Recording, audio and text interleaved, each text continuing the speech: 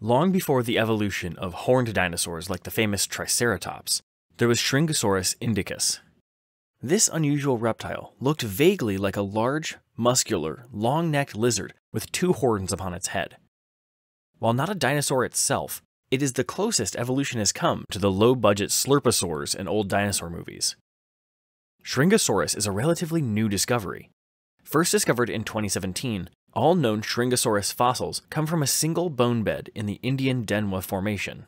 It contains the fossils of at least seven different Shringasaurus individuals. Given how many skeletons of various ages were found together, along with the lack of fossils of other species, it seems likely that Shringasaurus lived in herds. While it has not yet been dated, the fauna present elsewhere in the Denwa Formation correlates with the Anisian age of the Middle Triassic, between roughly 247 and 242 million years ago. By this point, life had still not fully recovered from the Permian mass extinction. Not all of the gaps left by the catastrophe had been filled, and the initial diversification of the dinosaurs was still 10 to 15 million years away. Even though Shringasaurus wasn't a dinosaur, it was part of the same group of reptiles as them, Archosauromorpha. This is the same clade that includes the flying pterosaurs, modern crocodilians, and a number of other extinct species that were widespread during the Triassic period. Shringasaurus was an early member of Archosauromorpha and lacked many of the traits of the more advanced archosaurs, like their fully erect limbs. Instead, it belonged to a clade within Archosauromorpha called Allokotosauria. Like Shringasaurus, most Allokotosaurs also looked superficially like lizards. The closest relative of Shringasaurus was Azendohsaurus. While similar to Shringasaurus in appearance, Azendohsaurus was slightly smaller, not as powerfully built, and lacked Shringasaurus's iconic horns. Earlier Shringasaurus reconstructions, including some used in this video, were based on Azendohsaurus's skeleton. It is now known that Shringasaurus had a much stockier build and thicker neck than Azendohsaurus. With this heavily built body and a length of 3 to 4 meters, Shringasaurus was larger than any other known Allokotosaur. Since its teeth were leaf shaped, there is little doubt that Shringasaurus was a herbivore. No other herbivorous archosauromorphs are known to have attained such large size until the late Triassic, with the only comparably sized Middle Triassic herbivores being distant relatives of mammals called dicynodonts. As the Triassic period progressed, dicynodonts became rarer, and archosauromorphs took their place as the dominant large herbivores. However, Shringasaurus' success seems to have come from it finding a way to simply avoid competing with the contemporary dicynodonts. The key was Shringasaurus' neck, which was long enough for it to access foliage and tree branches unavailable to them. Indeed, Shringasaurus may have been one of the first high browsers, specializing in foraging from the tops of trees. Therefore, while its horns may make it more reminiscent of ceratopsians, early sauropodomorphs, nicknamed prosauropods, may be a better analogs for how Shringasaurus lived. This means that despite looking more like a fat, oversized lizard, Shringasaurus convergently evolved features similar to two very different groups of dinosaurs. Of course, Shringasaurus's horns were its most striking feature, which is why its name means Indian horned lizard. Attached to the top of its head, they pointed upward and curved forward over most of its short skull. These horns resembled those of the theropod Carnotaurus more than the brow horns of Triceratops. However, they more closely resemble the horns of some other ceratopsians like Ojoceratops, and some members of an obscure branch of Ceratopsia called Nasutoceratopsinae. Shringasaurus's horns have a rough texture, which usually indicates the presence of a keratinous covering. Therefore, like the Ceratopsians, Shringasaurus's horns were probably longer in life.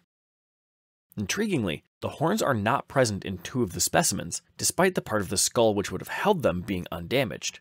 This means that not all Shringasaurus individuals had their namesake feature. Additionally, the horns of younger individuals are proportionally smaller than those of adults. The shape of the horns is also variable among the larger horned individuals.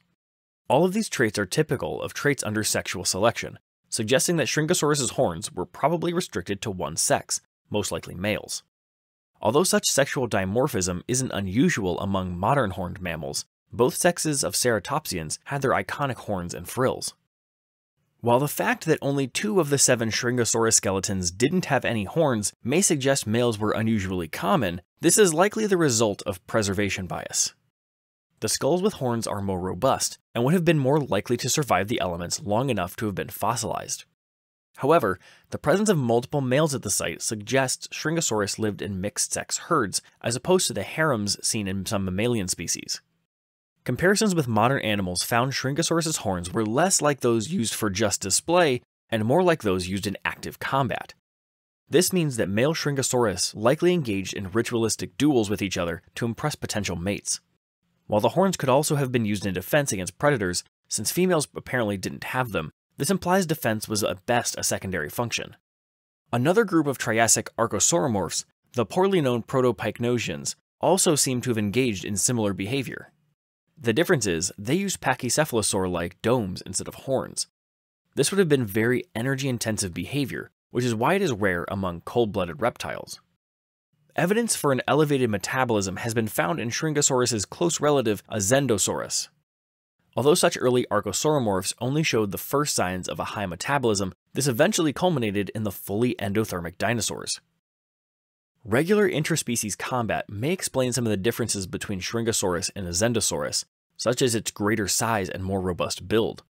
Larger and more muscular males would have had better chances in their duels, leading to those traits being selected for.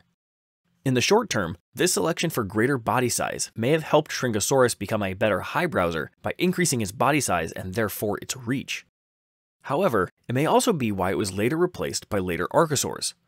Shringasaurus's neck was shorter than those of Azendohsaurus and other closely related Allokotosaurs, apparently to support its horns and greater muscle mass. Therefore, it couldn't easily evolve a longer neck to reach more leaves, the very same evolutionary pressure that may have enabled Shringasaurus to become a successful high browser may have restricted its ability to evolve further in that direction. This was not a problem for the Archosaurs, who replaced Shringasaurus.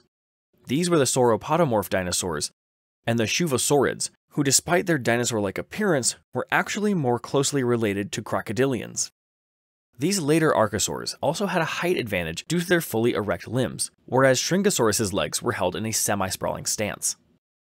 This was a common story during the Triassic period. The Permian mass extinction just a few million years earlier had created numerous vacant niches, meaning animals that were merely good enough at a role like Shringasaurus were able to evolve and last a long time before their eventual replacement by a species with less evolutionary constraints. Still, while it may not have been an optimal high browser, Shringasaurus was certainly an impressive addition to the Tree of Life. Thank you for watching and a thank you to the Mandalorian for narrating this video. If you enjoyed it, please remember to hit the like button, and subscribe if you'd like to see more.